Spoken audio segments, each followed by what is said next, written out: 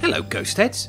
This podcast is sponsored by Sharp Signs and Graphics. If you're looking for a vehicle wraps and graphics or digital printing for banners or signage made for any occasion, business, or event, then look no further than Sharp Signs for your full design package. Find them on Facebook, Sharp Signs and Graphics, or email them at sharpsignsandgraphics at hotmail.co.uk. And if you're out at a convention and see this podcast banner, well, Sharp Signs supplied it for me and he's a very good friend of mine. Thanks, Chris.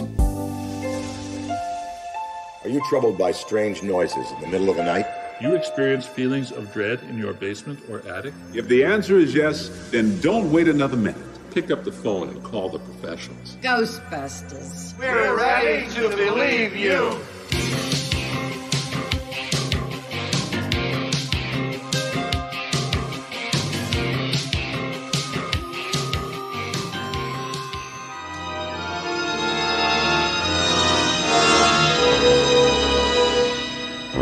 A ghost head is someone who has clearly uh, found some meaning and purpose and relevance to the whole Ghostbusters phenomenon.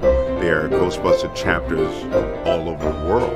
Every state has a Ghostbusters chapter with their own patch, usually incorporating the No Ghost logo and the shape of the state. Fans dressed up, running around, showing up at places, arriving in a uh, a vehicle of their own construction. It's reminiscent of that first moment that I saw my Ghostbusters come down the street for the first time on Madison Avenue. You're listening to Ghost Heads UK podcast.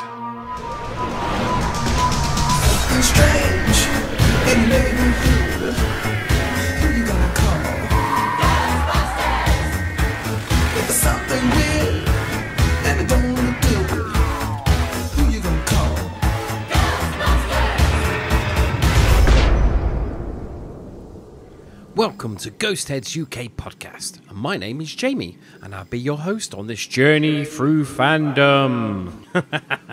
so, this month was the month that Ghostbusters Afterlife was supposed to be released, but it was not to be, and it was pushed back till next year. But that did not stop the steady release of Hasbro stuff turning up on the shelves in the States, but not many in the UK. So if you track down any, why don't you let me know? For me, I finally got my Ghostbusters 35th anniversary loot crate after what seemed like months. And what a disappointment it was. The only thing that was Ghostbusters in the loot crate was a loot crate edition of Tobin's Spirit Guide, which I could have got on its own from Amazon for much less than the £35 I paid for this. But it did do one thing, because of it, we started our own YouTube channel, and the first video I posted was an unboxing of this loot crate. So why don't you head over to YouTube, search for Ghost Heads UK, and you'll find the video. Please like and share, you know, that kind of thing. Well, what's in the show today? Well, I have the second part of our fantastic chat with the makers of the documentary Cleaning Up the Town, Remembering the Ghostbusters, director and producer Anthony and Claire Bueno. So let's get going. Ectocon update. Now, Ectocon is still going ahead, but if you head over to the Ectocon 2020 Facebook page, they've got some updates with some raffles to win various prizes.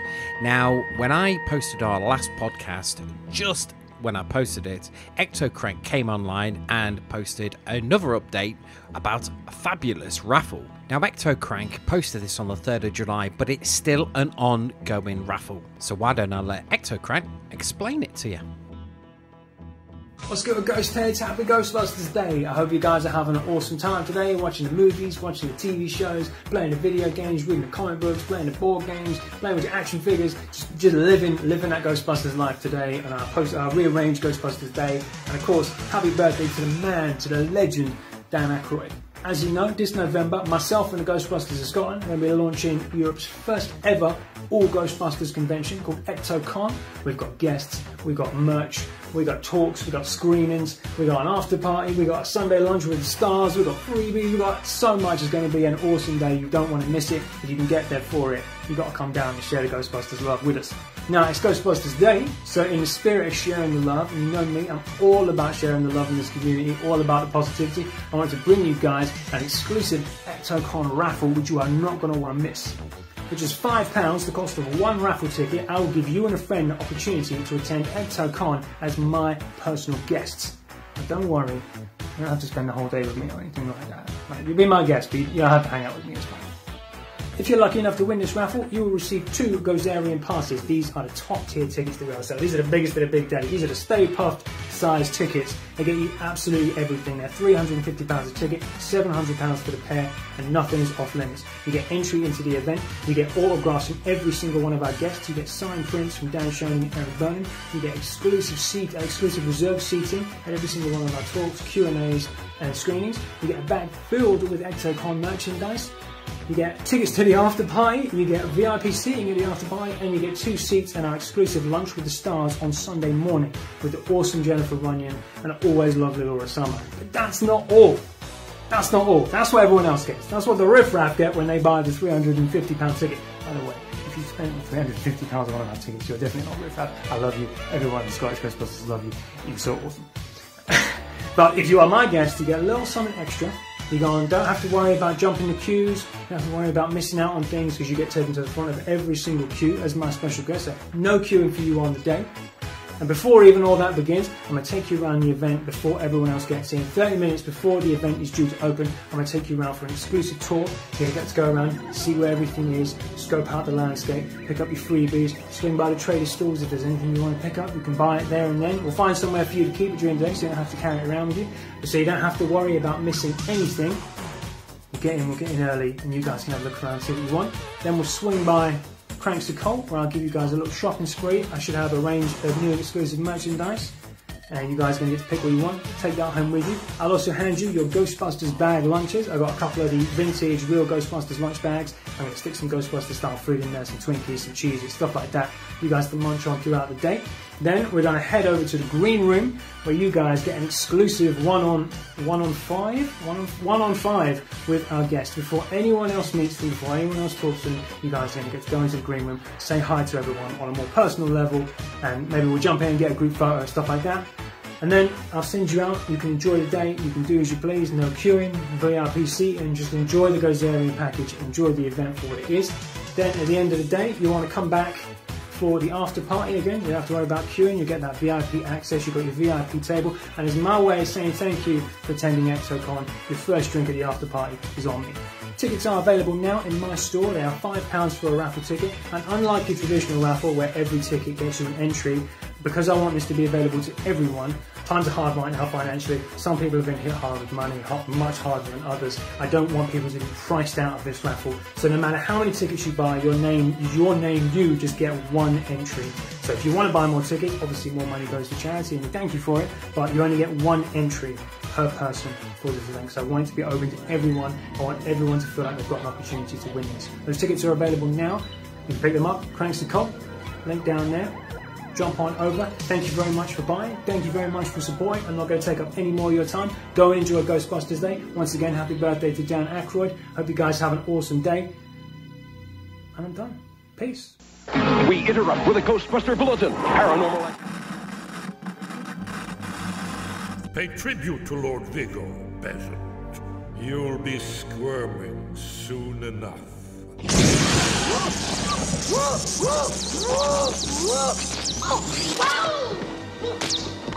Death is in the air.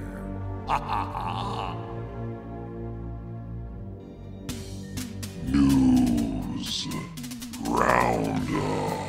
Do you like Cops, the recently cancelled US TV show? Well, did you know there's a Ghostbusters version of it? Well, it's called Ghostbusting 911, and the guys behind it are the Twin City Ghostbusters. And between 2009 and 2013, they put out seven episodes. But now they're back, and they brought out a teaser for that new episode, and I shall put the link in the show notes. Now, I didn't know this, but there is a new Lego game that you can download on your iPhone, and it's called Lego Legacies Heroes Unboxed. Now, I've just downloaded it on my phone, um, so I'm going to have a go see what it's like. But they've just had a brand new Ghostbusters update. So you've got the four guys and Slimer with some special abilities. Looks like fun, and I'll let you know next week after I've been playing it for some time. Yeah. Now, over at fun.com, they've got some fantastic headphones and they've had the Ghostbusters makeover. Now, I'm just looking at these pictures and they're white with the Ghostbusters sign on each side and the hazard tape across the top, and they're blue and white. They look fantastic. I might have to get myself a pair of these. What I'll do is I'll leave a link in the show notes. Well, it seems to be about the merch this month, doesn't it? And the official Hasbro Pulse Instagram page have revealed an upcoming Ghostbusters Plasma Series figure 2 pack that features both Louis Tully and the Terror Dog. Now, the box it comes with uh, Louis, of course, and he's got their little helmet that he gets put on when he's in the Ghostbusters firehouse. Now, the sculpts on these figures don't look too bad, but uh, the Terror Dog actually looks like the Terror Dog from the Diamond Select version, which I've got two of them, so I'm not too sure if I'll be buying this myself, but uh, we shall see, shall we? That's if they end up on the pegs in the UK, that's for sure. Well, and if they do, I'll let you know. Spirit Halloween have released a couple of bits and bobs as well, and one of them is a Ghostbusters paranormal investigator metal police badge. Um, looks okay, I suppose. It's it's gold with, of course, the writings in red. Um, it's only six ninety nine. Uh, so that'd be six dollars ninety nine or six pounds ninety nine when it ever ever comes here in the UK, and it's pretty good. It looks alright, I suppose. I don't know why you need a badge, but maybe you do. And the other thing is one of those toy torches that you'd get at Halloween time for a pound in the pound shop. They have the little discs of the ghosts, but of course this is the Ghostbusters edition. So you've got the Stay Puft and you've got Slimer and you've got the logo, which which when you turn on the light, they flash the logo, and they're eight dollars or eight pounds when they come out to the UK. But like I said, wait till Halloween. You can find them in the pound shop for a pound. There you go.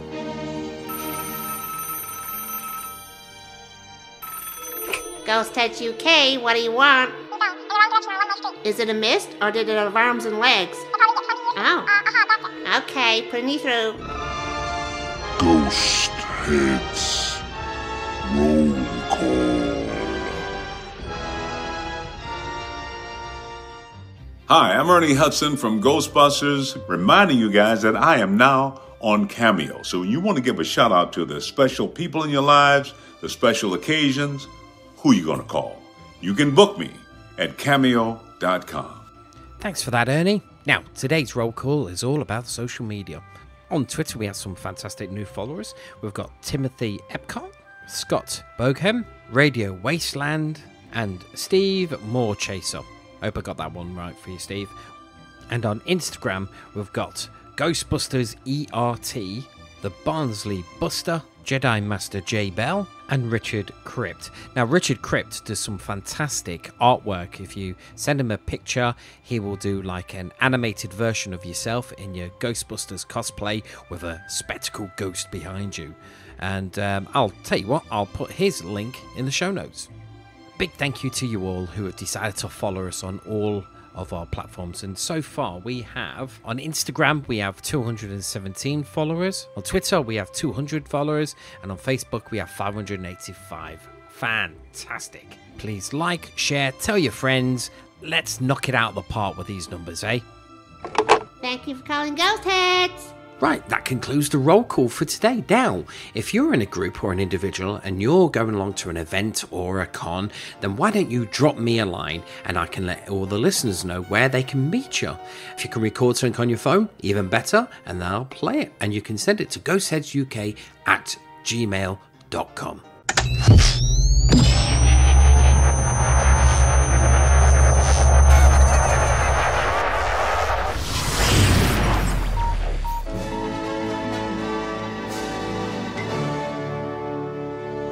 Suck in the guts, guys. We're the Ghostbusters. Now we're on to the part you've been waiting for, and it's part two of my interview that I did with Anthony and Claire. Now, you'll be hearing us talking about release dates for the Blu ray of when it comes out in the UK, because when we were recording this, it wasn't out, but it is now. And I'll be putting a link so you can get your very own copy in the show notes. Fantastic. Let's make some.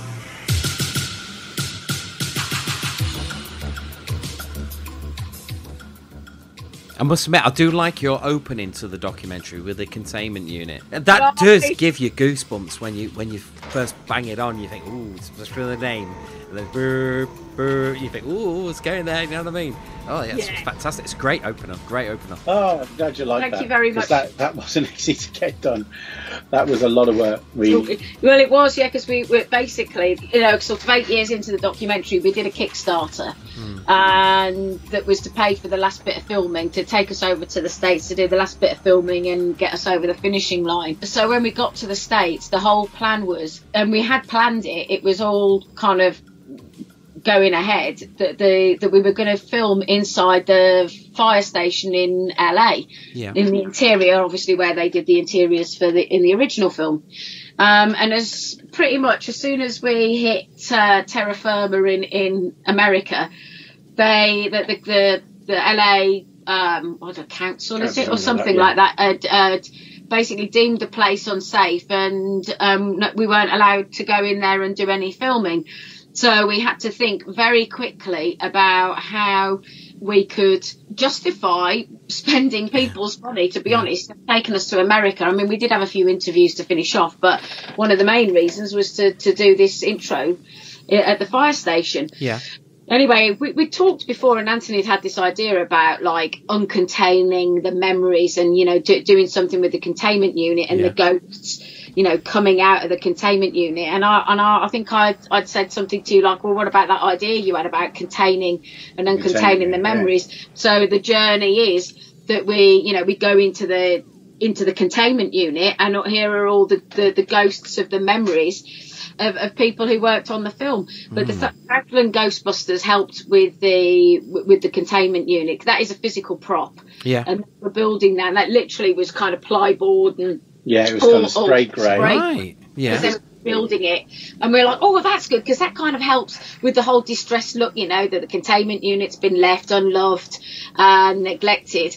Um, And the tape yeah, went get the along. That was the actual tape. They put yeah, that, that was put that was tape to actually, you know, make it, you know. to- Well, it was just there because the it needed to be, yeah, because the, Yeah, the door that's was kind of coming over. The hinges Yeah. were Yeah. tripod, so and it took because that was yeah that was a lot of stress Yeah.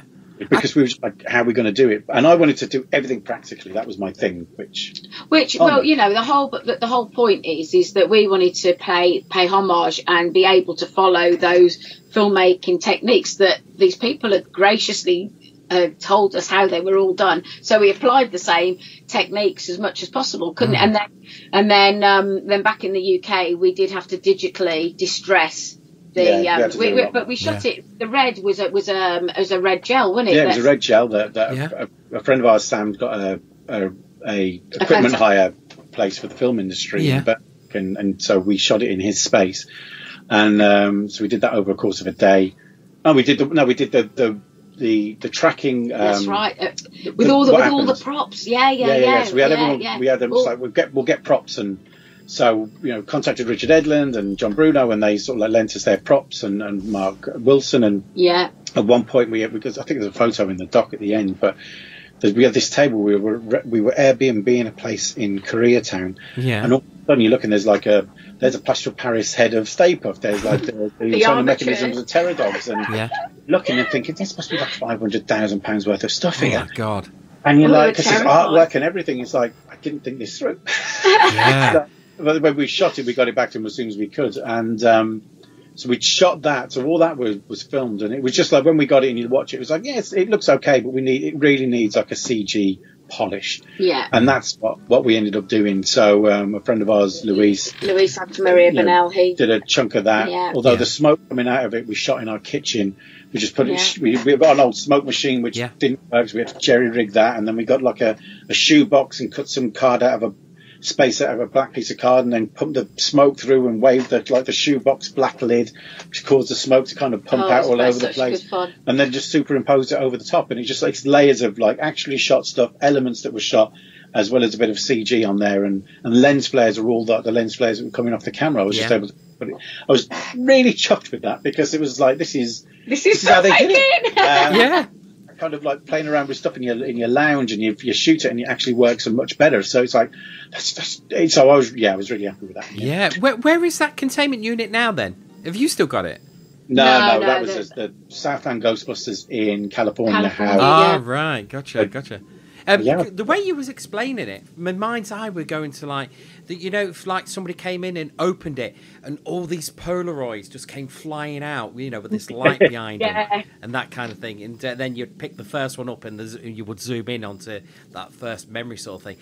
And, and aren't you amazed that so many of these people are kept such records of what they did back then with all these photos of behind the scenes and everything? Especially our Polaroids were quite expensive to buy, you know, especially the cartridges back then.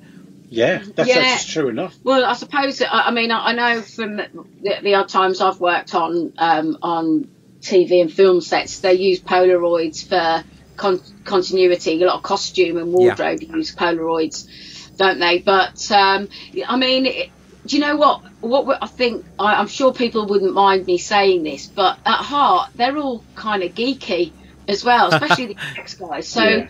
them keeping mementos and you know, you know, like how I suppose a lot of fans they and collectors they do collect, don't they? So Yeah, any bit of yeah. memorabilia, and for this, I think working on these films, that was memorabilia, and and and it's a collect. Yeah, for them, it's a collection of their memories as well, isn't it? Really? That's exactly what it is. It's like it's because they do. I mean, sometimes they'll they'll sell stuff off, but it's you know, especially these days because now there's a huge market for that Mm. kind of thing, and it's Yeah, there you- is, yeah. very difficult to kind of like get the money for to get together to buy some of those. I wanted to buy some of those things, and then you look at how much it's selling for. It's Yeah. like no, maybe not. Considering that back then everything was just chucked in the bin.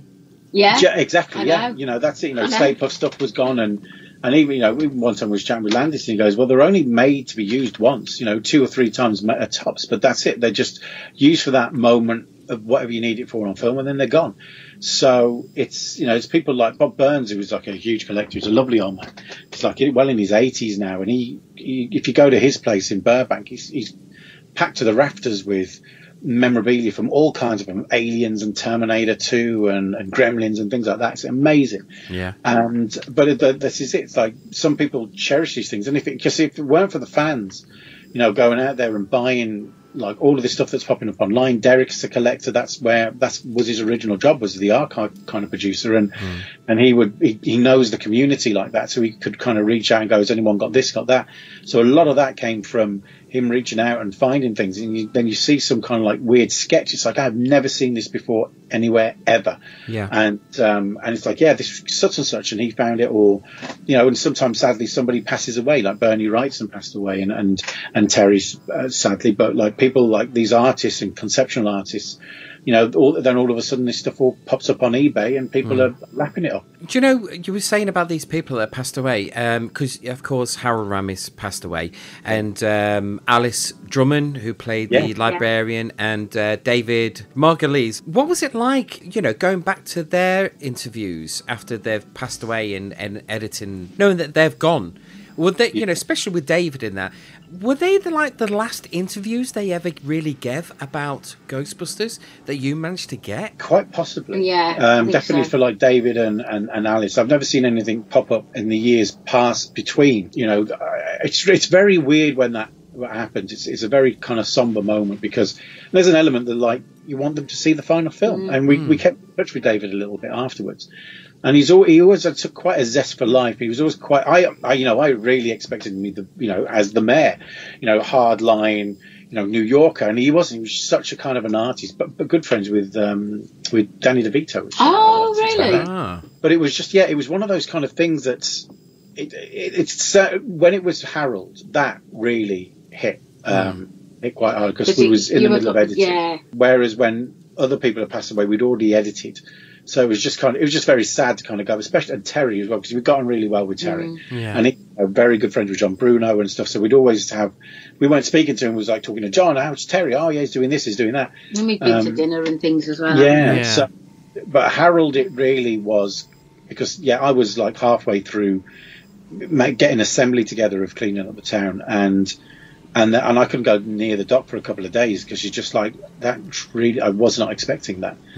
Um, and I'd heard that he'd been ill at some point, but didn't know that he was still ill, and, and it was as bad as it was. So yeah, they can be quite. It's just yeah, it's just it's sad because you just Yeah. hope you hope you, you hope you're going to see him again. Hope they're going to get to see the film. Hopefully they'll like the film. Yeah. And, and they you know they won't get that opportunity. But it's but hopefully you know well, we want to try and get a couple of discs to Terry's family, or so at least they've Yeah. got that because again they you know they've popped up on different things and they've all had quite varied careers, but Mm. it's you know what we really wanted to try and do was capture their personalities Yeah. and portray that within the doc and and because that's what's important for us to show it's not it's not just fact checking all the time it's like you know the, the energy between terry and richard is you know you can see why how you know the humor in ghostbusters became what it is and with john and all the rest that they just they got on and they all have a bit of a laugh and that kind of translates onto film and that's what's what was important for us to kind of show Yeah. so yeah it's, it's yeah it's, it's always sad like that especially with Harold Ramis, because there's a there's a hunger out there, isn't there, for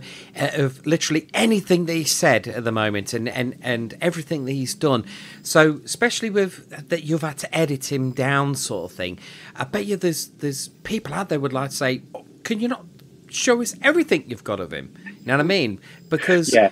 only I think like, a couple of weeks ago I watched a documentary on Galaxy Quest, Oh. and I did not know that Yeah, that- Harold Ramis was involved in the beginning of that. Was he Really? really? Yeah, I did not know that. Yeah, he was on board to do um, Galaxy Quest uh, to direct it, and then and then he. Uh, oh, surely you would. Oh, look at that! I've given you some information there. Yeah, Yeah, you have. We didn't Yeah. know that. Because I know, like uh, the people behind Screen Junkies made it. Okay, that, that answers the question now. That because this is when you watch some of these things, you're like, how the bloody hell did they get that? And you know, Josh Gad's r- releasing his Ghostbusters. You know, it's got you know Bill Murray in who we tried for many years to try and get, but it's like he's either knows and works with them, and so it's it is easier for some people to, for to access the kind of talent, and I, that, that rings about. It looked quite a, a high profile or high, High production producer, value. yeah, yeah. Because I wanted to see the Galaxy Quest one because we because Richard Beggs worked on that. Um, who did the sound design in, in Ghostbusters, and we were talking. I don't know what how he came in the conversation about it, but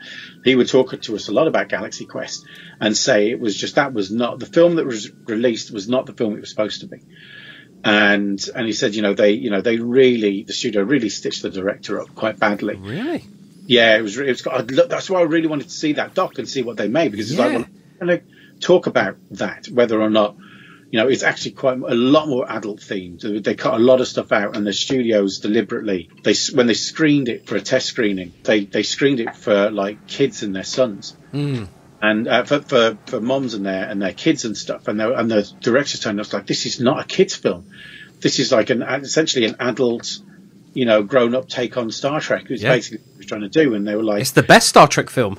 Yeah. yeah, exactly. Yeah, well, it's, you know, it's, you know, you know, the rock monster that was supposed to be Star Trek Five and all that kind of stuff. Yeah.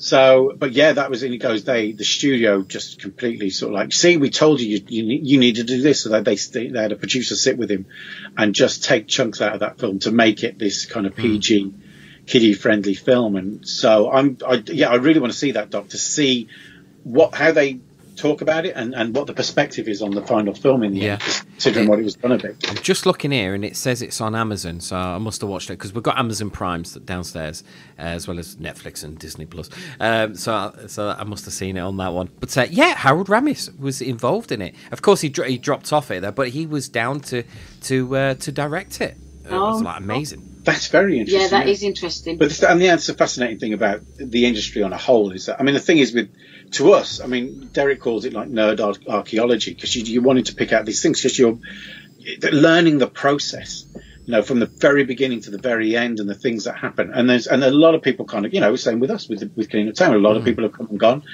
Um, we've had people like do work and then Yes. it, the work wasn't quite right, but it worked for what was needed. But like for the final film, it wasn't. So you know, it's a constant flux. It so you yeah. hear, you know, hear about all these kind of things, and people are like, Constantly evolving, isn't Yeah. it? you know, like, you know, Ghostbusters two having, you know, what's, what's his name, Shawn Levy? No, Oh. Shawn Levy, that's the director. Um, from Splash. Uh, oh, um, week I'm having. Um, uh, was it uh, Eugene Levy? That was him, the dad in American yeah. Pie. Yeah, yeah, yeah. Yeah.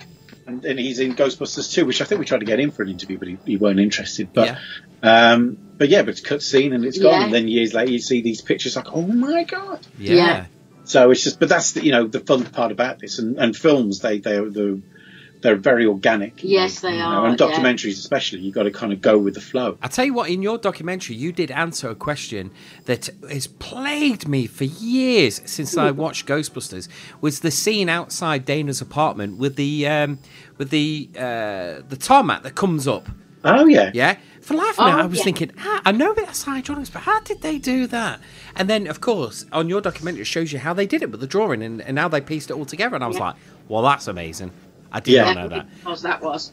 You know that, and that is. and they never broke ground. I think. They never broke ground in New York, and this is and this is what's because you do you sit and watch these things. You think, well, I wonder, and you know, but you know, films have high budgets, but the, you don't even think that they're going to completely rebuild it in a different part of the country. No. And so they can just do and The watch shots iconic. which are quite well. Yeah, it's just Yeah. It's, it's incredible how they do some of those things.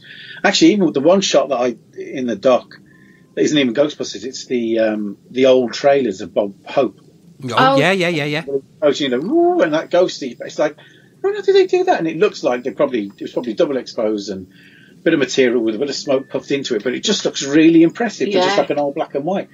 And that's, I- you know, and this is the thing what you love about these things. Sometimes I'll pull something out. It's like that. I didn't even think that was a, an effect or Yeah. anything, and then realise there was a whole process behind trying to get whatever it was done. Yeah. But I, I, what I mean, what I, the things about Ghostbusters is that they- they were using really old school techniques like double exposure. It wasn't like some like well, you know, new tech like green screen or blue screens or things like that. A lot of it was double exposed and works just so well. Yeah, it does. And, Yeah. and, how, and it's like, why don't they do that in, in modern films? Because that's the texture that, that Yeah. you, you want to see in some of these films, but they rely a lot on. on Well, the- you know, the, well, the thing is, is it's it's all very well having all the visual effects, and that's, you know, and, and all the, the kind of I suppose know the special effects, isn't it? That they they had. Oh, now I'm getting mixed up with the visual effects and special oh, effects. Oh yeah, I do. Oh, anyway, but you know, the, all the digital effects, they were designed really to complement the story. It was ne- they were never designed for them to overtake the story. And Yeah. unfortunately, we did go through a period of where,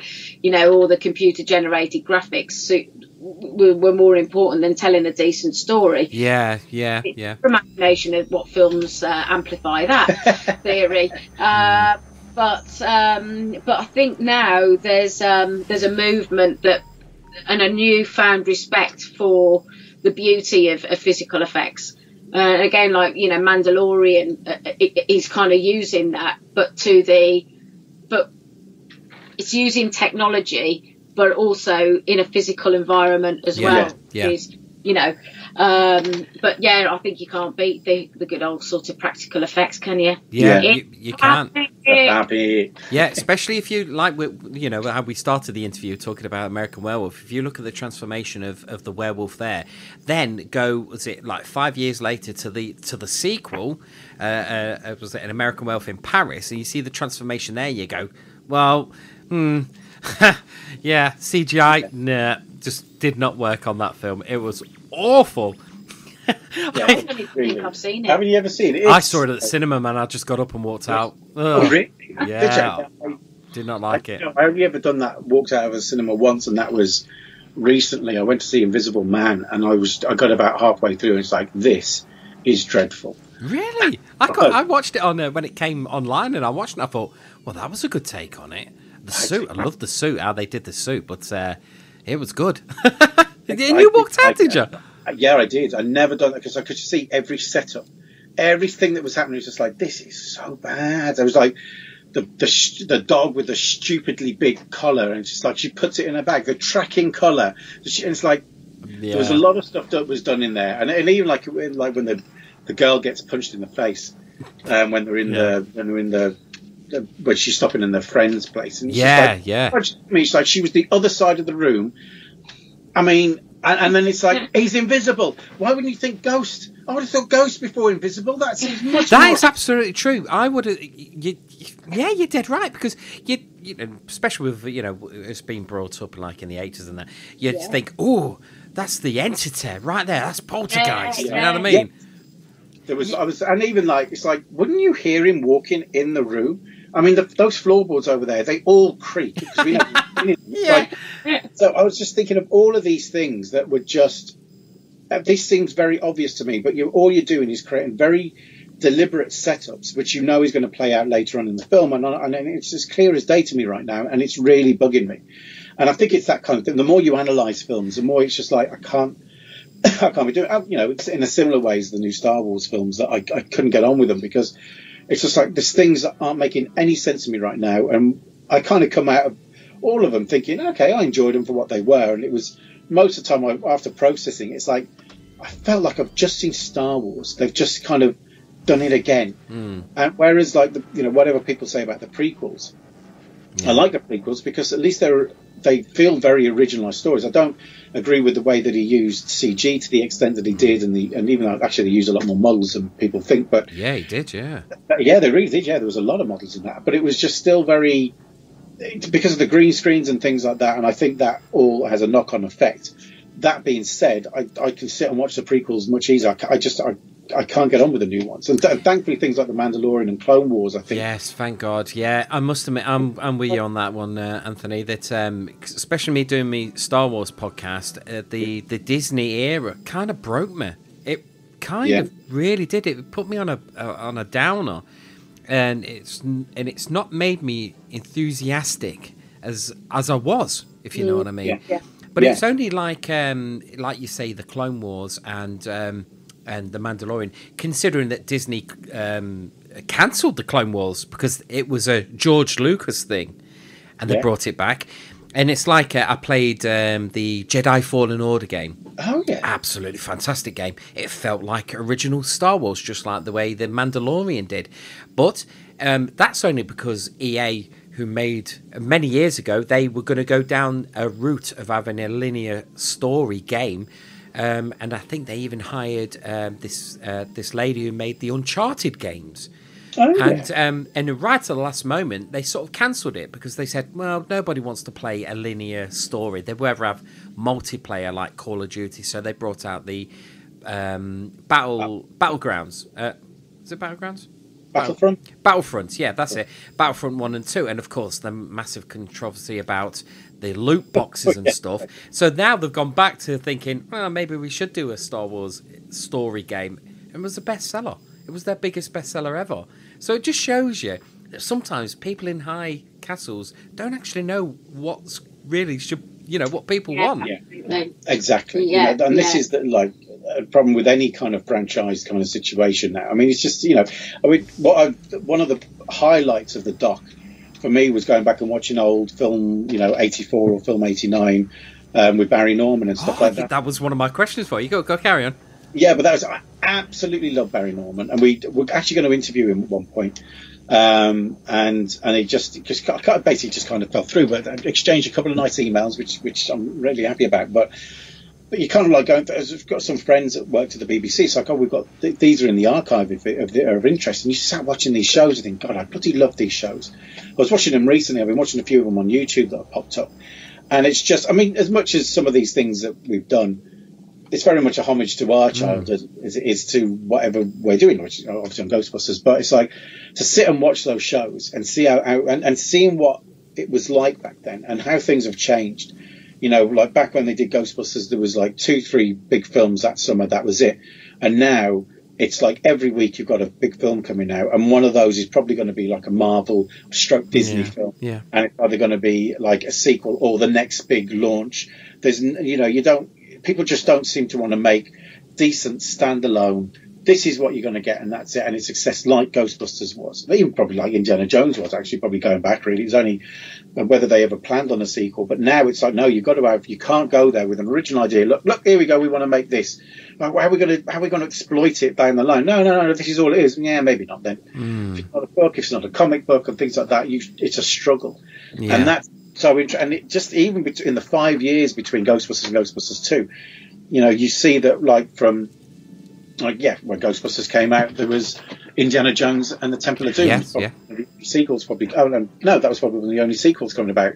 Get to Ghostbusters two, and the whole summer's packed with it. You got Karate Kid two. I mean, Batman isn't wasn't a sequel, but you know what I mean. It was still a, Yeah. a Continuous franchise story, thing. Yeah, it was, yeah. Yeah. The Weapon two, uh, Star Trek five. Um, I know this was going through this. Uh, James Bond Mm. and that's only some of the ones. There was a stack of sequels coming out that, and they, you know, and Barry Norman did a piece on it, and it's Yeah. like you the films this year have a slightly familiar tone to them, and, and, and away you go, and there's stacks of them.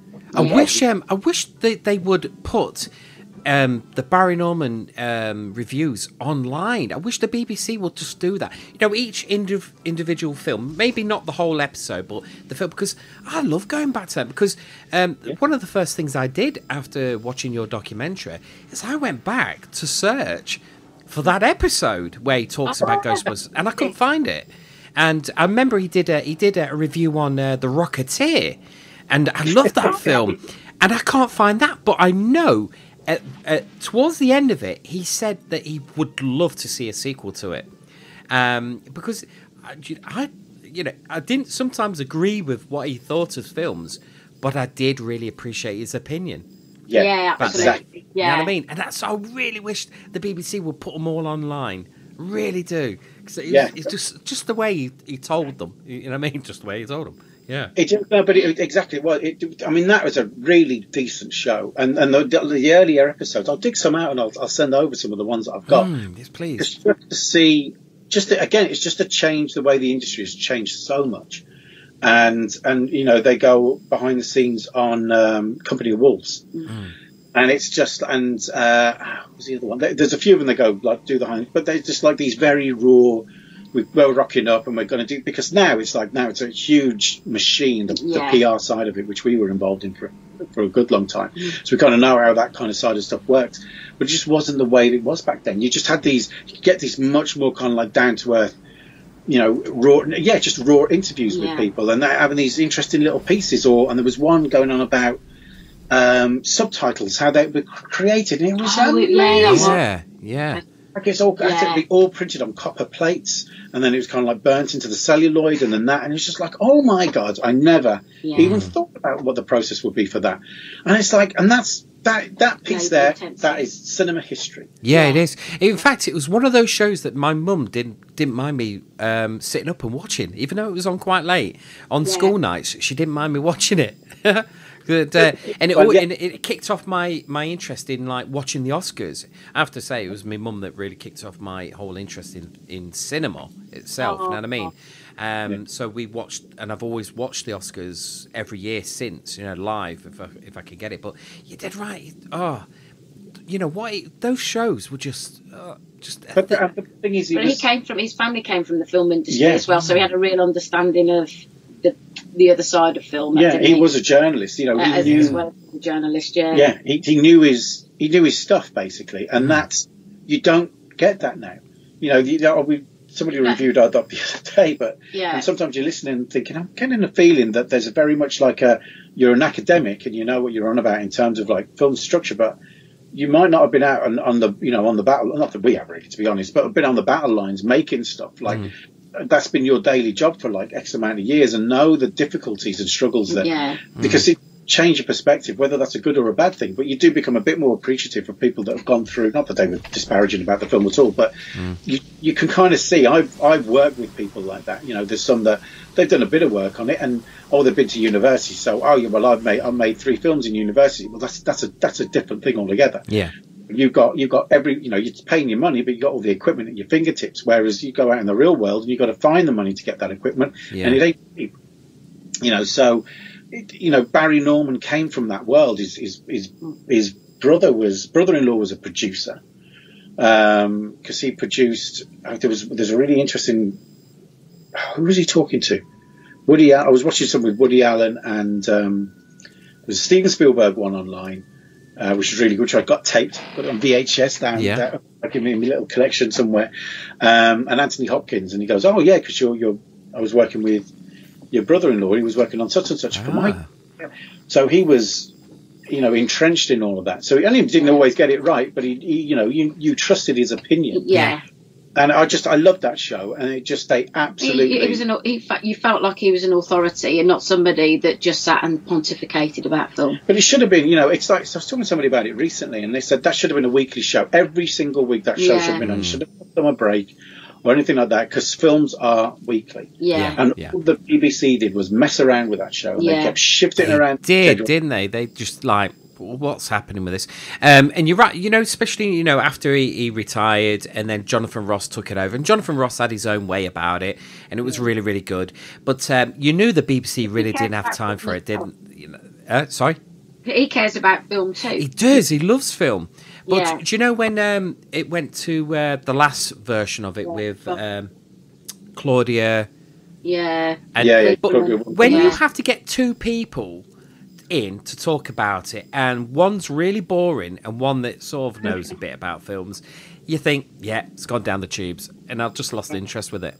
It's got no, it's gone. They've, they've I cancelled know they it. cancelled it. Yeah, this is like I gone. the last couple of episodes where they had Al Murray doing it, which was very funny. I have to Mm. say, like it was Al Murray and um, Clive Anderson, Yeah, and it yeah. was quite witty. But you're looking at it and you think, oh, we're live, we're going out live and things, and, you, and everyone's giving their two penneth worth Mm. about the film, and it's it's fair enough because film is very subjective. There's there is a point where there's bad films and there's good films, and then it's just like, well, I loved it, I didn't, you know. People, I saw some lad, I was in Maplin, and but he, he was a young lad helping me out looking for stuff, and, and he loved, you know, the the new part of the first trilogy, this new trilogy of Star Wars, I've forgotten the name, Force Awakens. Yeah. loved it because that feels like my Star Wars. And I was like, I, I really, I, I don't like it at all. I don't understand it. I don't even understand how the the Empire or whatever they're called now is even a thing. How could that happen? again? How could the Nazi Party rise again Yeah. after we've just gone through? Doesn't make it. Nothing in the film makes any logical sense. Especially with the Empire, with the uh, Emperor at the end. it's like, eh. great Yeah. to see him Oh, on God, screen yeah. and all Yeah. that, but what a it's like stop shooting yourself. Yeah. Um, but so he does. I've got these lightning bolts, but they keep turning on. Yeah, me. you think he would know, wouldn't you? you think the experience shows you that that don't work. What a dumbass! Third time, you know, third time, shame on you. Anyway, Yeah, yeah, Um, true. but it's but so it's like so okay so you get it it's like there's people that you know there, there's that there's people that love ghostbusters. I, I, I actually briefly dated someone who couldn't stand ghostbusters. It was just like this is not going to last. And it didn't.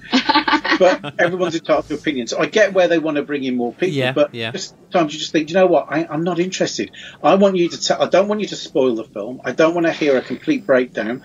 I just need to kind of have a, a good synopsis about what this film is and, and what your feelings on it and then mm. i'll go and watch it whether or not i think it's Yeah. you know, based off that. That's your job, and because you do get the feeling, it's just like some of these people like the sound of their own Yeah, voices. yeah, Sometimes it's just yeah. like, Yeah. and actually was talking with Richard Beggs about it. It's like you know, well, people pay a lot of money to go to the cinema now, so they do deserve to have someone to a critic to say.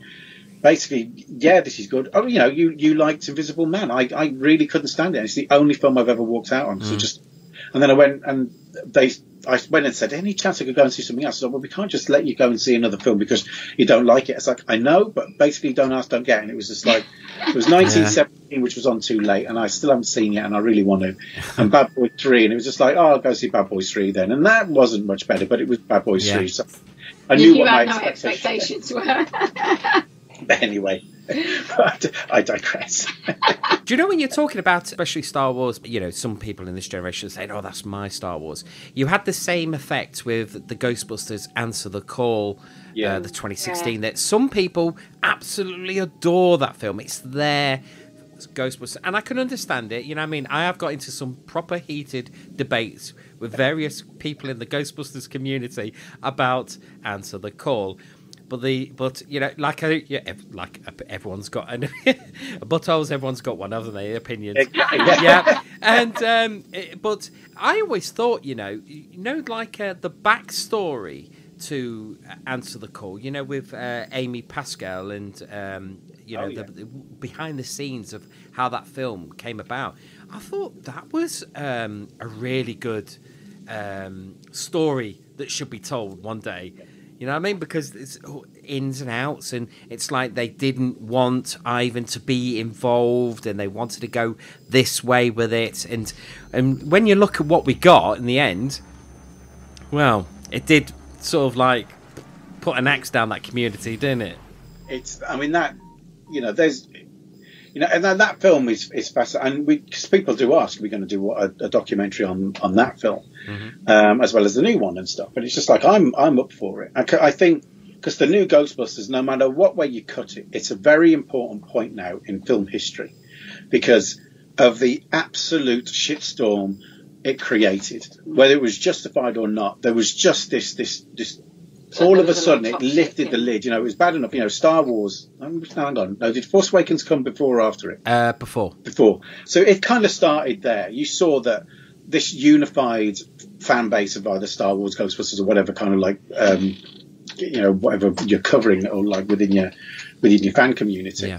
It you know it was bad enough with Star Wars because that you know did split fans, but it was nowhere near. It didn't reach the dizzy heights of what happened with Ghostbusters, and that as that shone the light on all this toxic fandom. And we've sort of like spoke about doing a, a documentary about it because you know, we've, you know, had a bit, not nowhere to near of like what they did with Answer the Call, but we've got a bit of backlash mm. from, you know, decisions that we had to make. We, we didn't have any choice with it, you know, because we did the Kickstarter. Yeah.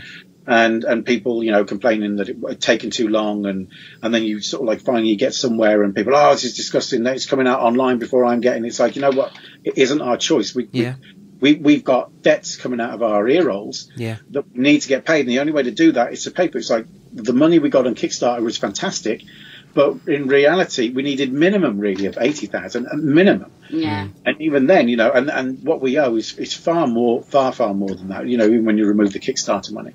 So you kind of understand, you see this kind of window where you think everyone's together and understanding and, mm. you know, and, and people, geeks and stuff like us didn't, didn't always have the easiest ride at school and all the rest of it Yeah.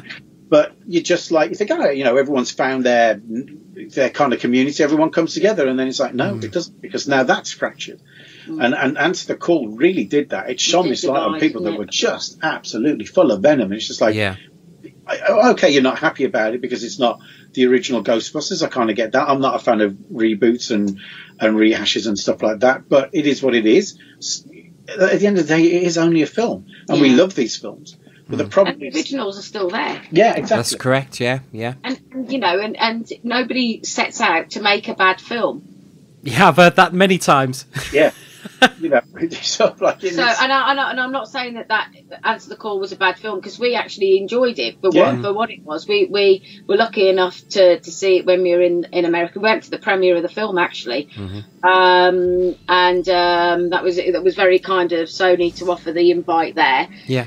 And um, you know, and, and you know, at the end of the day, did it did, did the film take you out of your yourself? Was it you know it was it did it It- it distract did- it you? did what Did- you know, did. it's, It's an entertainment Yeah, film. yeah, That's it. absolutely, yeah. You know, is Yeah, it is it, it's an, a a, a- it. you know a, a gem within cinema the way the Ghostbusters is? It was a classic of the ages. I no, I, I wouldn't necessarily say that, but it was. Well, it no, was and good it's film. not going to be because Ghostbusters was completely original, and you know, you never, you, you, you know, you can't, you, you can't just put that in a bottle and, Hmm. and use that formula for everything else and Yeah. make it fresh and new all the time. Because if they could, they would have. They- yeah, you know, yeah, um, exactly. Hollywood would be a power, a, a bigger powerhouse than it is, and we, you know, we'd be handing over our hard-earned coins at the end of every week. Yeah, going, yeah. Yeah. Sometimes like- I think um, that uh, basically Sony didn't. At the end, they didn't know how to market it properly, and I think that's yeah. one of the biggest problems with it. Because you know, I I must admit, I bought it when it was a pound in the pound shop, two Yeah, special edition. Well, that's when I bought it, but uh, I've got it. So just because it's it's so I've got all three. That's the reason I got it. So I've got all three, because there's you know, even if sometimes the, the there must be something in a bad film that um, there's, there's got to be a good scene or a good bit because I've got no end of films that have got fantastic soundtracks, but the film's crap. You know what I mean? The film is utter crap, but the soundtrack is absolutely fantastic. Um, but you know, and we watched it. We watched it again. I thought, right, let's you know, let, let's take myself out of it. I'll watch it again and see what. And it still, it did still make me go, oh god. Do you know what I mean? But Yeah. it's when you look at it as like maybe this alternate dimension. You know what uh, the comics were trying to put out. Then it fits, but. I think the you know the, at the end of the day, the blame has got to be straight on the studio for they didn't know how to market it.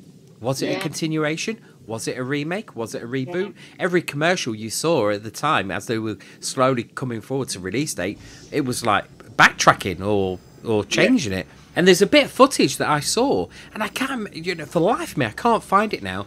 But I saw it on YouTube where they showed you like a computer graphic of the original Proton pack, and it sort of, and it said um, Spengler five two nine, you know, and then it sort of came apart, and then it sort of like turned and swiveled and remade, and bits of it went into the new pack, you know, and and I thought, oh so they are. So they. It is a continuation. They're using parts of the old packs for the new one, and of course, then all of a sudden that footage disappeared, and and then it wasn't a continuation. No, it was very confusing back then. Very it, confusing. It, it, but this is the thing, you know, they with the studios because they. This is the thing. They they were trying to build a massive sort of like you know roller coaster. And you know, the whole point of Ghost Corps is to build you know the brand to be you know you know Marvel level kind of stuff. I would, well, kind of. I'm not going to be as big as Marvel, mm. unfortunately, but you know that's the thing. It's like we need you know Sony need a product, and this is an absolutely cracking product, um, which has, hasn't been exploited in the way that it, it could have been. Mm. And and then you, and then you find yourself now you're in the 21st century and the, and you know they're trying to appeal to the to the you know to, to be more inclusive. I was yeah. going to say the female market, which is sound sexist, but you know, be much more inclusive of everyone. Yeah. And but then the, you get everyone chasing their own tails. Yeah. You know, the, one, the reason why Ghostbusters worked so well is that they didn't have to adhere to anything. Yeah. They were just this is the film, this is what it is, this is what we want to try and do, and that's it. They're not like when you get to Ghostbusters 2, okay, now we've got to kind of fit in with the film, um, we've got to fit in with um, all, you know, like the cartoons and all these other things. It's like first film works because didn't have to worry about everything, anything. Mm. The, and, and the new one, it's the same thing that, you know, with, with Answer the Call, it's like, well, we, we want to do this and we're going to make it like this and we're going to make it more female. And it's like, that's just going to wind everybody up. Because mm. time you're going to take, to take characters and make them all, you know, the, the, polar opposites. It's like, yeah, but we've moved on from that. They have, they, they didn't say that and make Ghostbusters. We're making them all male. Yeah. We're, we're not going to have any women. It wasn't a conscious decision like that. And but whereas this is more of a conscious decision. So, and then I mean I'm not a fan of ad lib comedies. Is that that's that's that's my thing. And yeah. I did enjoy, um, answer the call, and there was a lot of stuff in there that really made me chuckle. Mm. There's things that I didn't like, and there's some things that like that give me shivers. It just really hit that nostalgia button mm. quite hard. Um, but you know, somebody we had a discussion with a friend, and he sort of like said, if you've got a film that is within most people's minimum top twenty and especially in the top 10, then you shouldn't even look at remaking it because all you're going to do is face backlash. Yeah. Over the years, we've had, you know, the, the Alien, uh, like prequels and all that kind of stuff that haven't quite lived up to what the anticipation has been. Mm. And you've got, and, and that's the problem is anticipation because you've got, you know, a million fans out there with a million different ideas about what they want from the next film. And when they don't get it, there's a bunch of them that just go and, and you know, throw the dolls out yeah. the pram. Yeah. Some of them, and, so, and, some of those films, though, you know, you look back in those uh, the glory days of the eighties, you think, why did they remake that? There's no point in remaking that. It's like remaking The Wizard of Oz or the first Star Wars film. You know, stuff like uh, Poltergeist. They remade yeah. that, and you think, why? That film was perfect. You know what I mean? And and, and well, meant there's been no end of remakes. Um, I can't really think one that was actually that good. Really, you know what I mean? No. I, you know, I, am struggling. I know there was. There was one time I remember seeing a remake, and I can't remember what it is right now. Um, but it's just like you, that's the thing. It's like if that film now perfectly holds its own, mm. like Poltergeist, which is a prime example, what's the point? And I, I get, you know, with horror, you know why they're doing it, because you know there's a guaranteed audience, and horror fans will go out yeah. in there. So they know that as long as they don't overspend, they know they're still going to hit that kind of yeah, that, yeah, that, that, that target that they want to meet and whether it's like the Freddy or Jason and any of those kind of things. But it's just like, but the other one still stands up. You know, if it was mm. a hmm. bad, you know, I, I, remember watching Friday the Thirteenth and thinking you could see this getting remade and them actually making a better job of it because there's a lot of running in the woods. Yeah. You know, yeah. 30 minutes about just cutting down the running in the woods, which weren't really needed. And they did do, and it wasn't really quite what I would have made. And even Halloween. Mm. But that, it's just like, why, why, why I, I just like, you watch the two films, it's like you haven't, you know, you could have actually pushed it even more, but you haven't. You made something quite typical. You haven't really pushed it, and and most people don't even remember those films exist now because they still hmm. want to watch Halloween. Yeah, go back John Carpenter.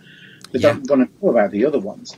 So it's uh, you know, I, you know, every, every everyone has their kind of reasons for doing things, Hmm. and uh, you know they've kicked around the idea. What's one film that they? Oh, yeah, I suppose they rebooted like Halloween again. Yes, but forgetting every single film after the first one. Even though Ghost, um, I was going to say Ghostbusters there. Even though Halloween Two was directed by John Carpenter. Oh, was it really? I didn't realise. that. I, I didn't realise. was, that. wasn't it? Sure, it was. Go Actually, I don't know. I can't even remember seeing the second one. I only really watched the first one. Because I've watched them, but years. Uh, Halloween 2 followed literally. It, it started exactly at the scene uh, where um, Loomis looks out the window and uh, sees that Michael's disappeared. It literally starts. So it's the rest of the night, but there. But this new film says no, that's where it ended. So there was no other films after uh, Halloween two. But uh, if I remember rightly now, there's a couple of franchises thinking about um, doing that, aren't they? Thinking, uh, you know, especially like um, like you said, like uh, Friday the Thirteenth and um, Nightmare on Elm Street. Perhaps we should forget all the ones afterwards. You know what I mean? Yeah, and you know, and that and that kind of gets on your up your nose a bit. You're thinking, well, people worked really hard on those films. Yeah. and now that didn't happen. I mean, the, the ones that the cleverest one was this, when they did Star Trek, and that was the one that's like, okay, we're, we're not we're not going to wipe out everything that came before, but we're going to do this kind of trick. So we're going to go back to the originals, and we're going to go back before them. But for some reason, everything is like so much more sort of like advanced than what they were in the original series. And and like the Discovery series has tried to kind of polish over some of that. But and, it, and I really that first Star Trek film was great, and the other the Star Trek two I, I really didn't like at all. Yeah. Third one was all right, was was entertaining enough, but I don't think it, it was strong enough as a film. It's just a remake of Wrath of Khan, wasn't it? Really? I ju- that was just. I mean, and that was- that's the thing. It's again, why on earth, out of all of the Star Trek films, the the one that everybody loves, that focus on, it's Wrath of Khan, is without doubt. The, and I love a lot of the Star Trek films, but Wrath of Khan is fantastic. Yeah. Why would you want to even try and remake a film that's so loved and absolutely make a pig's ear of it? Mm, yeah, exactly. Well, I'm a big fan of uh, of uh, Voyage Home as well. I love Oh, yeah, Star great Trek. Voyage Home. Um, especially, here's a here's a little nugget for you. Do you know the punk rocker in the back of the uh, bus that's uh, Spock? yeah. He's the same guy in Spider Man Homecoming that's got the radio. He's an old man, of course, and he's standing in the radio and he looks up and he sees Spider Man and he's got the same ghetto blaster on his shoulder. And it's the same guy. Really? Yeah, and they said it's the, he's playing the same character. yeah, it's the same guy, same guy. You just see, you know, on that little monologue of, you know, where they see, uh, where you see Spidey like uh, getting a bike, and uh, it's during the scene where you see the Stan Lee cameo going, "Hey, you," you know what I mean? Um, but yeah, you see this guy, and he's holding a ghetto blaster, uh, quite an old guy, and he's wear, he's holding a ghetto blaster, and he waves at Spider Man, always says something. That's the same guy in in uh, Voyage Home. You're that Spider guy on YouTube, right? Call me Spider-Man! Okay, Spider-Man! Don't flip! Yeah! Not bad! Again, no, I didn't realise that. That's awesome. Yeah, that's my little nugget there, a little little one there for you. Uh, anyway, let's bring this back to Ghostbusters because we have gone straight on a tangent. Now you've done this, uh, of course. When's it going to be out? You know, to buy. The, the important thing is, yeah, it's out on Blu-ray next week, the 22nd of June. Yeah. It was originally going to be today, and then it, because of COVID nineteen, they had problems with it basically. So, um, so yeah, so it's out on Blu-ray on the twenty second of June. I think it's out. You can get it on VOD, sort of like on iTunes and everything now. Um, but yeah, twenty second of June in the UK. Um, I don't know about the US yet. It's it's a, it's going to be on Crackle Yeah. um, on the 18th of June.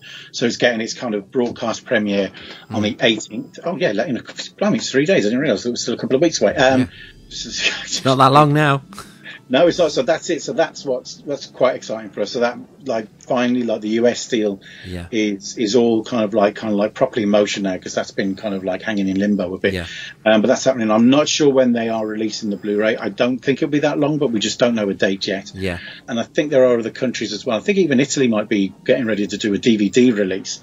Um, from what we've heard, but we haven't heard. We sometimes don't always hear straight away because it's kind of going through different distributors and, Yeah. and sales and stuff. Do you know what kind of uh, extras will be on the disc?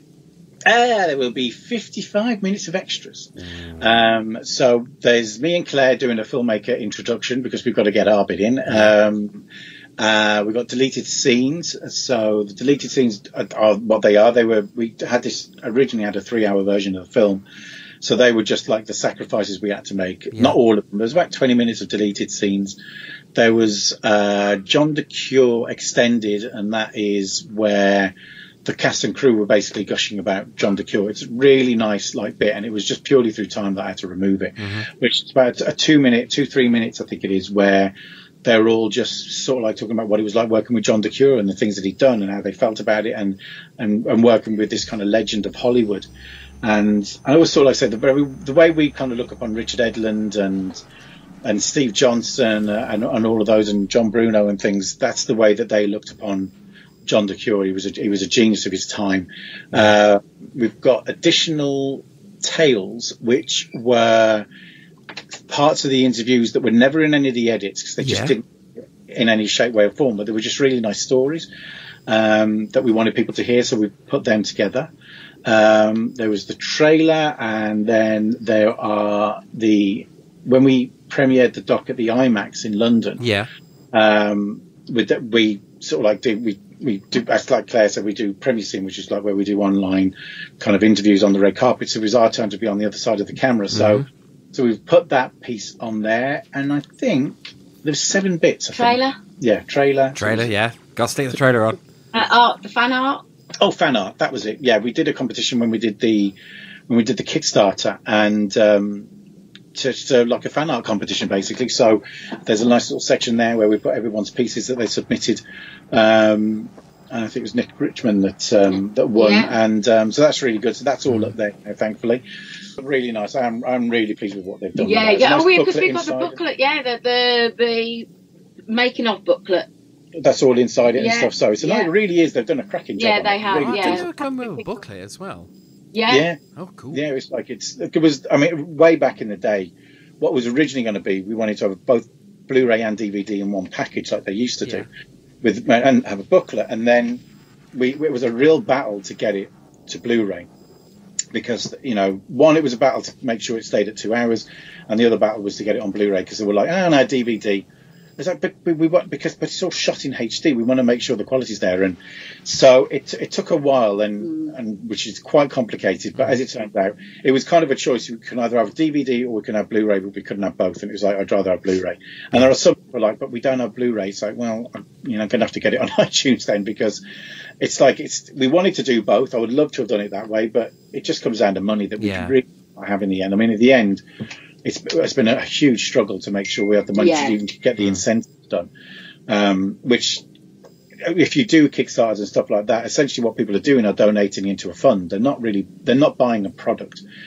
So, and that's a bit hard for other people to understand, which I get, to, to be quite honest. Yeah. But it's what we could have done is say, you know what, we we have not the money to do any of these things now. So you're just going to be happy with what we got, but we have done. We've persevered and we've been able to get all this stuff made. So Yeah.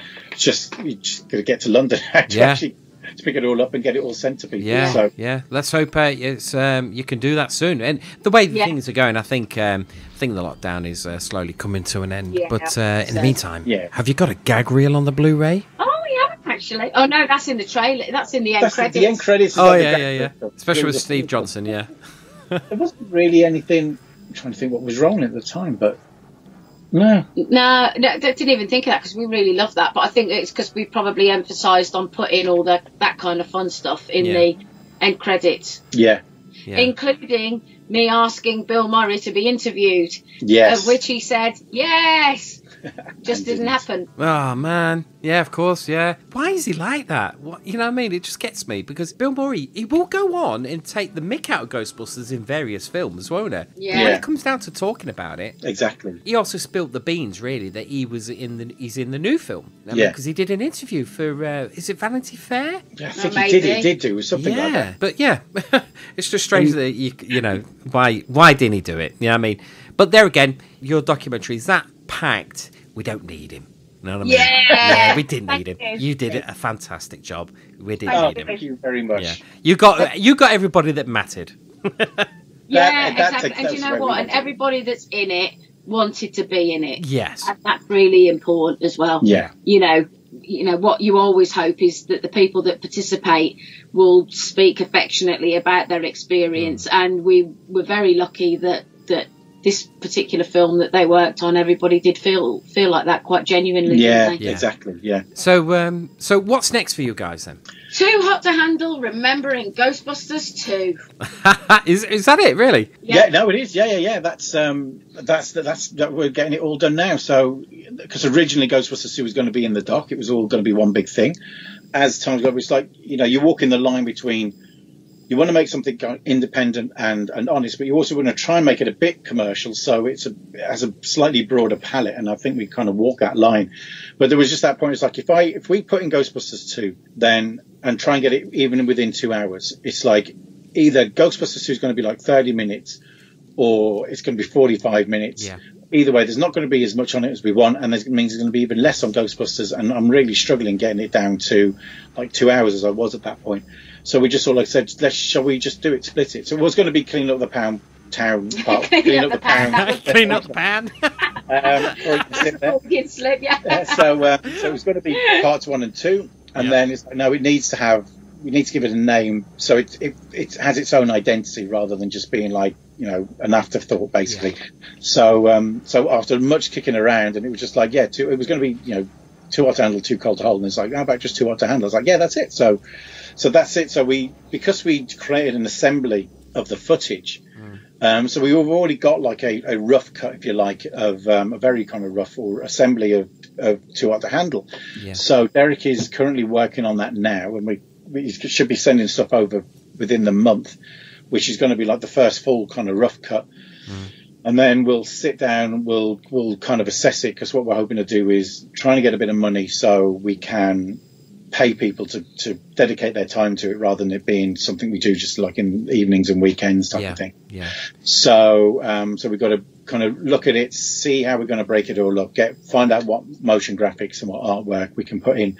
It, it- like that, it should be an easier film to make than what Clean Up the Town was because there was effectively three versions of Clean Up the Town: three hours, two hours, and the ninety-minute one. Um, so we will. We just want to have just the one version that will be sort of like, and it will be probably around about 90, 100 minutes anyway. Yeah. um, but we can focus on that purely and make sure there's the right graphics for that. And and there's a lot more behind the scenes video from Ghostbusters 2 which will help kind of cover a lot of those blank spaces where we needed Yeah. to create either animation or what. Even though we want to put animation in there so it's still got the same feeling. So yeah we're working on that now. The, the hope is that with the right kind of financing uh, and the, the right people on it like Derek um, that we can hopefully have it all kind of pretty much done by the end of the year, so it's all ready for next year when when uh, you know Ghostbusters will be very much in the forefront Yes, of yes, it will be. cinema viewings. So Yeah. that's the plan at this point. Whether that will be the case, we'll know probably more within the next two months. Um, Is there going to be a, a Kickstarter for that one? No. Probably not. No, I, I we just after the last one. If we'd have got, you know, if we'd have got Clean Up the Town done three years ago, it probably wouldn't have been a problem. But it's it's enough dealing with doing a Kickstarter is a full time job when you run it anyway. Yeah. That's what we found, and a few people said that too. It's like that month or however long you run that Kickstarter for, you are working on that like twenty four seven. yeah, and it was like that. And then And then the administration of it, the other end, is really, really time consuming. yeah, um, because you know you're not dealing with one producer that has put their money in. You're dealing with hundreds of people that have, you know, what you know, whatever they've been gracious enough to donate, and there's an, a, an expectancy, and it's very difficult to m- m- maintain that and, and um, and manage their expectations. Yeah. Um, it's it's it's yeah, it's quite a challenge. So. Uh, I really don't think we would we would do another Kickstarter. No. Okay. Like, it, it gets quite. It really it can really take the wind out of yourselves Yeah. when you're working like constantly on something and trying to make it as best as you can, and then you get someone pop up online complaining about some meager thing. Yeah, threatening And- to and- you to court. Oh yeah, threatening to take yeah, us to court. threatening to Mm. top, you know, that was um, and it's just and it brings you down And when you're dealing Yeah. with something that's that's creative. You get Yeah. yourself it's, it's very difficult to kind of switch yourself to being positive and go, oh, never mind about that, I'll be fine. Yeah. It's been really some, most of them, a huge majority, have been ama- been have been amazing. perfectly fine and very nice Yeah. and very very Yeah. helpful. But there is a percentage that really have not been. There's always someone, isn't there? Yeah, There's there always is. someone, that's for sure. Um, Yeah. Everybody that I've spoken to um, online and um, various uh, franchises that we I talked to, I've always spoke very, very positive about uh, about Oh, what they've seen and about you guys. So, Oh, no, you know I mean? So they're they're constantly looking forward to what you're going to be bringing out next. That's for sure. Well, that's good news. Yeah, it that's is, good yeah. news. So So, we're looking forward to it now. It's, yes, because once you get the one template done, other parts like the intro sequence to the next doc, I know, you know, I, I know exactly what I want to do with that. And which we didn't, you know, when we went to do to clean up the town, you were always kicking around some idea or another, and it never quite working out. Yeah. And then happened what happened. And even though it worked out, because I'm really chuffed with the intro, but it's like that's the okay. So what are we going to do for the next one? And then, and that was one point. Should we just have the containment unit and have slime blowing out? It's like again, it feels just like a more of an afterthought rather than thinking up something new. So we got to, we know what we're going to do with that, and mm-hmm. we also know looking at the style of what we're going to do Cool. with with it. So and and and you know, and Derek Sawley did a great job because he kind of picks up where the last doc left off. It's like you know, it, it goes into sort of like the the effects that Ghostbusters has on Yeah. on the world and and and how that informed how Ghostbusters 2 was going to be made. So. It's yeah, it's I'm yeah, I'm re- I'm really looking forward to because so far it's looking really good and I'm really yes, chuffed with it. very, so yeah, yeah. um, Some so more, and lo- lots of new faces. yeah, New yeah, faces and, and lots of new faces as well, so that's exciting. So, I mean, hopefully, for, you know, once the pandemic's over and we get a bit of money, there's a couple of interviews we'd still like to get. Yeah. We, we've kind of got everyone, but there's a, again, you know, what was the one thing we cleaned up the town? We had people popping up through the whole course of the making of. They're like, do you know, I've got this material here, or we've got some of this this old footage. It's like the Daryl Hannah Hannah footage or something like that. Yeah. So when this stuff appears, it's like, oh god, this is this is gold. Oh, yeah. If you, when- when you watch it, well, not in the Ghostbusters No. in, in Clean Up Town, but so the same thing's kind of happening with with Too Hard to Handle. That there's like a few more people that's kind of popping up, and and you watch it, it's like it would be nice to have a few new more new faces kind of dotted in there. So mm. hopefully we'll be able to go get back over and do a trip and and do some of those interviews, but we just kind of. We- Right now, we you know even if we had the money, we couldn't go because of the pandemic. So I would have thought the pandemic would have been the best time because everyone's just sitting on their ass waiting for the phone to call. camera if they can if they can set a frame because I'm very fussy. Um, so, but yeah, but that's it. Ideally, they've got loads of time, all the time in the world. But Yeah. sadly, we, I don't know. We'll we'll soon find out. but, So um, I'm, I'm, I'm looking forward to that. Absolutely looking forward to that. As I'm looking forward to when this when your documentary gets released, so I can buy it. Um, but Yep. especially how we should have seen Ghostbusters Afterlife by now, and that's put back. So yours is the next best thing. Yeah, it is, and it's it's out in it's out next week. It's I mean it's available for, for pre-order at the moment anyway. But twenty second Monday the twenty second it is re- released um, on Blu-ray, and that's for UK, Europe, Australia, New Zealand. And um, if there is anybody listening from the United States, the film is premiering on Crackle this Thursday, the eighteenth. yeah, Cool. That's great. I'm hoping that you'll do like an English version of uh, the American Ghost Heads documentary with all the franchises. That's what we're all hoping for. that'd be an interesting. I didn't even think about that. No, I didn't actually. Uh, because no, we actually we recorded an interview for that. He didn't use it, which I don't blame him. That That's- would that would be interesting uh, because we've got as as time has moved on. There's some Yeah. we got on very well with, and there's others that we've we've had a bit of a falling out with because the, the film's taken so long and and again expectations and things like that. And even though as much as, as hard as we've tried, sometimes you just can't You live can't up to it, some you of those know, that's right, expectations. yeah, yeah, You- You, you, you know, you're getting facing roadblocks all the time Yeah. and we are constantly facing them. And some of them have they took umbrage, um, and I just kind of took umbrage to some of them because they make public complaints. Whereas, like, well, I know you. You could just come straight. Why don't you just send me a message and I'll tell you what's going on? Yeah. Going to become a counselling service. But anyway, That's a whole other documentary. that is It could start with you venting. It could do, couldn't we? Couldn't we? It'd be interesting. You've got to do. You've once you've once you've done all the films, yeah, you've got to do a documentary about uh, about the fandom. The actual fandom of Ghostbusters and uh, That go and see, yeah. especially with all the prop makers and the people that spend the money and get the Oh, cars yeah. and stuff. yeah, the lovely Lee Kiddy, who's Oh, been very he's been supportive. Yeah. who does some great Ghostbusters props, and he, he came down and donated his time and his props to the premiere that we had in London. Mm. Yeah. Yeah. Um, there's some uh, some great work for, and, um, and work you know, charity. Southeast Ghostbusters, they Yeah. came along and, and was raising money for charity. The, And the Welsh Ghostbusters as well. Yeah, Yeah, Welsh Ghostbusters have been amazing. I designed their badge. Oh yeah, I, I think I've designed about five badges for people in the states as well. You know their logos as well as Oh. mine, which I gave you the patch for.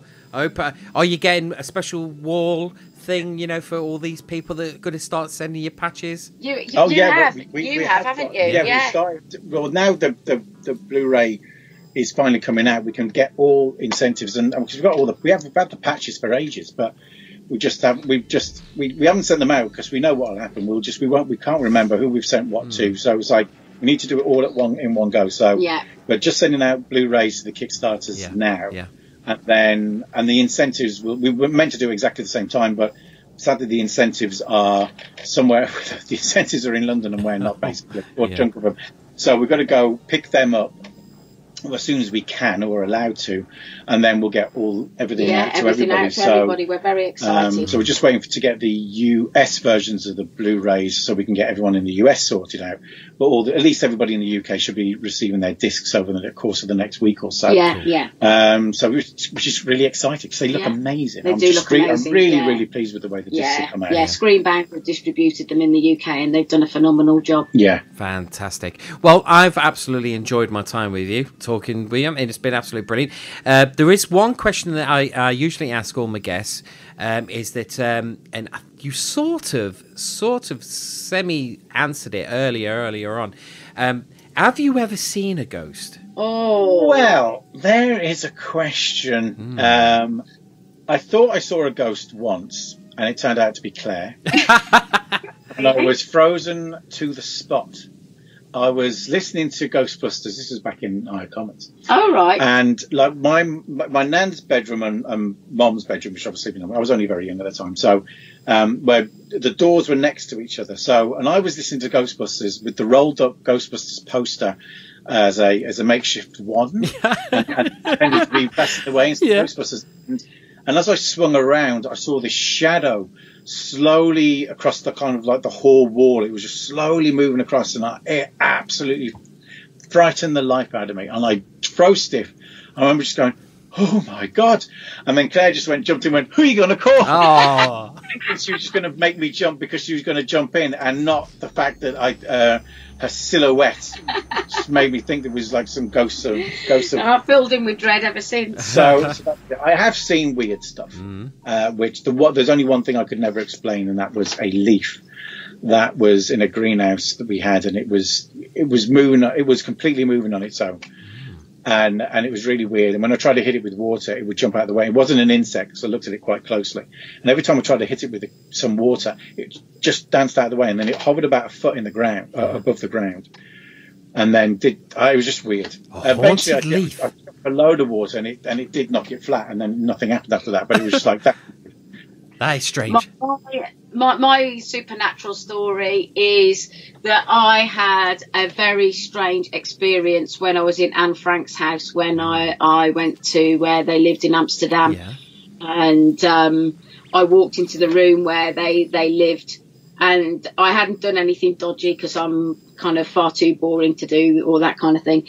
But um, I'd, I, I walked in the house and um, it was fine. And then the, the actual area where they were hiding for all the years, I just came over all overwhelmed and started crying and had lots of anxiety and my heart was racing and beating um, and felt very teary and overwhelmed. And then as I walked out of the room, I went, I was okay again. Yeah. So it was the most bizarre experience. So whether I had picked up on some sort of yeah, energy there, there is. there, There's also sound. Oh, what they call it? So- infrasound. Infrasound, yes. Yeah. That is infrasound, is it? Where there's, you- especially over water and, and tunnels and things like Ah. that. Yeah, they Could be. they done it in a lab, didn't they? They said they could uh, do a frequ- a special frequency that could make you actually think that um, y y there's a ghost presence near you being watched, sort of thing, or Yeah. a feeling comes over you. Yeah, you you're dead right on that one. There was There one that Kieran did a thing, and there was there was somewhere up north, I think, and there was like a building. People would always have funny feelings, but for like a couple of miles away, there was a tunnel, and they said that all that, and it was Oh, directly, you're right, on the canal. and it wouldn't shock. No, this was I don't No, know. but this is but but Anne yes, Frank's house and was. Frank's house on canal. Yeah. That's right. I remember talking to Kieran about that before. And he goes, so there's all these things, Yeah, but it yeah. could be, and but again, you know, science looking for reasons and stuff. Yeah, so it's true. Amazing, amazing. Right then, guys, uh, fantastic. Loved it. Uh, can't wait to uh, edit. I'll probably just stick it out as it was actually because there's just so much content. I, I think, well, it'd be a shame to cut that out. Um, where can where can our listeners uh, get in contact with you guys? And like, if they if their franchises want to send you a patch, maybe for your wall, you know, where where can they get hold of you and where can they see all your stuff that you've done? Uh, But basically, it, it'll it, Ghostbusters doc. Um, if you go ghostbustersdoc.com, that will take you to our website, and there's a form that you can fill in, and um, and I'll I'll pick those up. Otherwise, follow us on Facebook, Instagram, and Twitter, all at Ghostbusters Doc. Yeah. And uh, and if anybody is doing any social media, please do the hashtag Ghostbusters Doc um, as well to help spread the word about the film. Yeah. Brilliant, absolutely fantastic. And uh, will you be watching the um, Josh Gad thing later? Do you know? I don't know. I, I don't. I don't know. I don't know if I can. Because if I if, if they tell a story that it's like, why didn't they tell us that? And you know, Oh God, yeah. as much as I'm quite happy that with, with the film that we've got, it was gonna. I can't help but know, like I said, they've got Bill Murray, and, and you know, you don't know if anybody else is going to be popping up that we wanted to get and, and couldn't. So I don't know. May, maybe not. I think. Um, I'm Maybe happy with we'll what leave we've it. got. Yeah, I'm, I Maybe might we'll leave, leave it, it and hear what other people have to Yeah. say about it. I'm sure it'll be great because the Goonies one he did was absolutely It was. It fantastic. was really good. That I enjoyed that one. But and the Splash one was quite good. But Mm. I, I didn't sit and watch the Lord of the Rings one because it's like I'm not s- watching that for an hour. I've already Yeah, watched I've the not special- watched the Lord of the Rings one either. Funny enough, that's the only one I've not watched. Yeah, I've seen it. I watched Andy Serkis read The Hobbit, which was awesome. I really enjoyed listening to him read that, but I was like, I'm not going to watch. But anyway, I I don't know. Probably not. I th- probably because we're just way too close to all this kind of Yeah. stuff. Um, but I don't know. At some point, I might do. I'll, I'll see what other people say. But yeah, yes, I know. I'm, I'm, I might just go and watch Clean Up the Town. Yeah. yeah. Why not? It's it's bloody good. I've heard. I would suggest anybody watch Clean Up the Town instead Yeah. because that's two hours. Yeah, just J- Josh Gad will do a nice warm up act for Yeah, us. yeah. absolutely, On the absolutely. Story. Yeah. Well, thanks a lot. No, thank you very much. Thanks for coming on. Please come back on when you've got uh, the Ghostbusters 2 documentary all. Thank you know, you what I mean, don't be strangers. We it's a, it's an open door policy here at Ghostheads. Ah, thank you very much. We shall take you up on that then. Brilliant, absolutely. Thanks a lot, then, guys. See you later, then, No Ghost problem. Heads. Take care. Bye. Something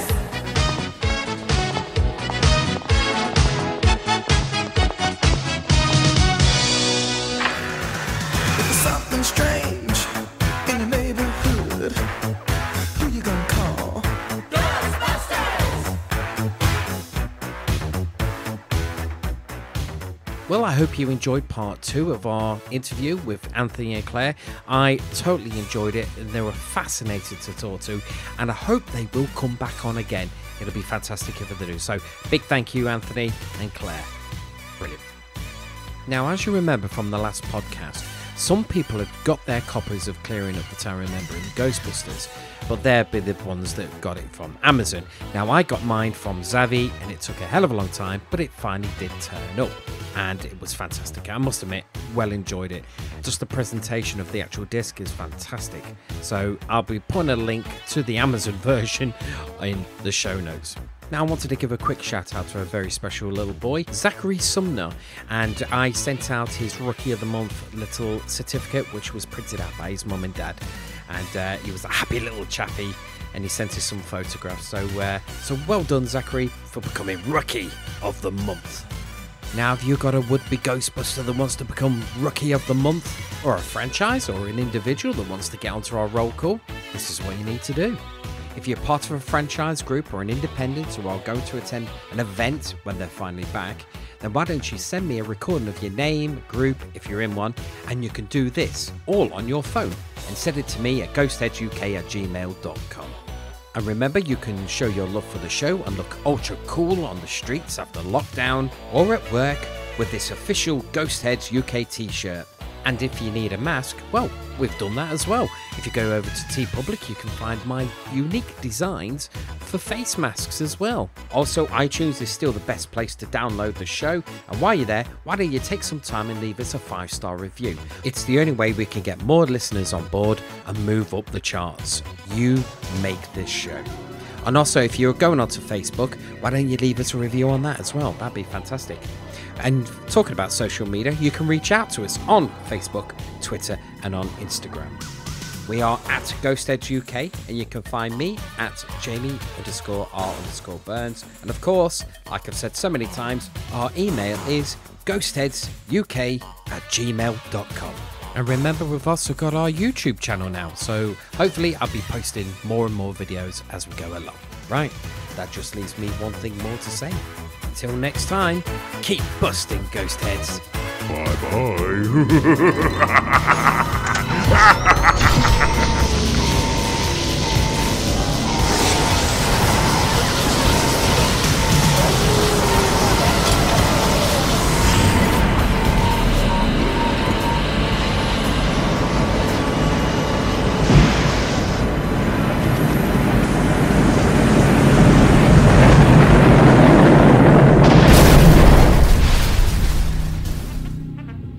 you know what I mean. The Terror Dog.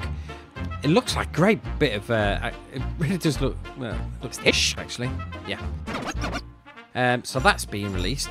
Don't know when. Probably not the kickoff in the UK. That's for kickoff, sure. Now with the part you've been looking for, with my exclusive. Uh, ah, psh. Now is the part you've been waiting for with my inclusive. Oh God, I've said it again. Ah!